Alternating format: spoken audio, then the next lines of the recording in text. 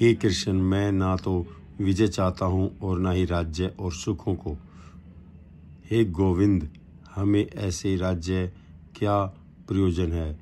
अथवा ऐसे भोगों से और जीवन भी क्या लाभ है?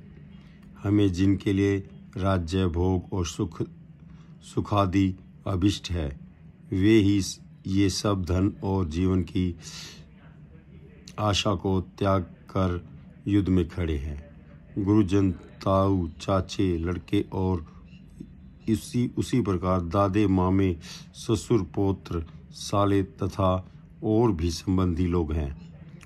हे मधुसूदन, मुझे मरने पर भी अथवा तीनों लोगों के राज्य के लिए भी मैं इन सबको मारना नहीं चाहता।